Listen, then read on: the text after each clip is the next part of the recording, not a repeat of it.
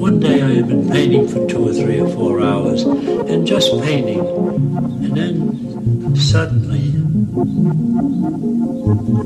as if the brush was painting by itself.